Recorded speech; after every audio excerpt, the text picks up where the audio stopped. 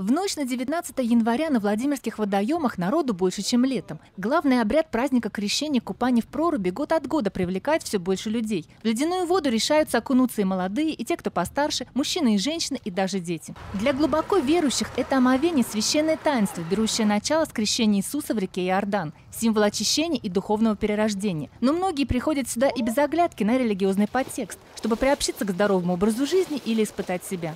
Вот сколько лет с наступлением крещения собирался проверить, смогу я это сделать или нет. Но только ноги до проруби не доходили. В этом году твердо решила – сегодня или никогда. Ну что, пора идти в раздевалку.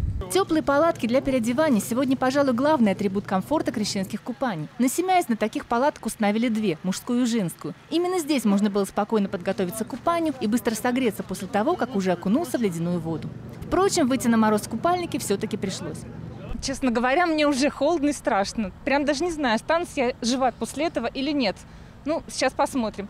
Неопытного купальщика отличишь сразу. Он медлит или, наоборот, торопится зайти в прорубь и быстро выскакивает из воды. На самом деле, конечно, все надо делать размеренно, и окунаться следует с головой. Но я решила, что для первого раза подвигов с меня достаточно. Вообще-то это, знаете, ну просто, ну, без комментариев. Как показывает практика, решиться на купание в проруби нелегко, зато потом все довольны. Очень с трудом. Мы сейчас с трудом Мы сейчас трудом решаем. То есть вы еще думаете?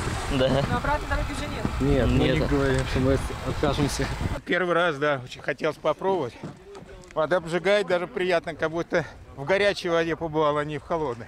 Отлично, отлично, скользко. Просто замечательно. Силы прибавились. Здоровье, силы и благодать. Божья благодать. Всех с праздником. После купания владимирцам предлагали согреться горячим чаем. Работала полевая кухня, у водоема дежурили спасатели и бригада скорой помощи. Организация просто великолепная. То, что сейчас вот здесь есть, очень удобно и, в общем-то, э, благодаря, благодарить администрацию тем, что действительно людям пошли навстречу, что люди неудобств не испытывают, не как раньше это было. Ну, просто люди приходили, вырубали прорубь топорами, ломами, ну чем, ну, чем приходилось.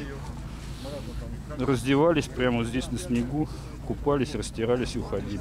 Эдуард Юдин – участник крещенских купаний со стажем. Начинал здесь, на Семяйзно, еще в 90-е годы. Мужчина считает, к таким экстремальным процедурам нужно готовиться. Например, обливаться холодной водой.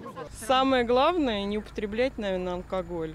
Если уж идете с чистой душой и с чистым желудком, без алкоголя, пожалуйста, чтобы нам было легче. Если что, вдруг оказывать помощь. Ладно? Ну а те, кто окунуться в прорубь пока не отважился, могут умываться крещенской водой. Верующие считают, что она обладает целебными свойствами, которые сохраняются в течение всего года. Татьяна Гордеева, Максим Палагин, Дмитрий Шаталов, Губерния 33.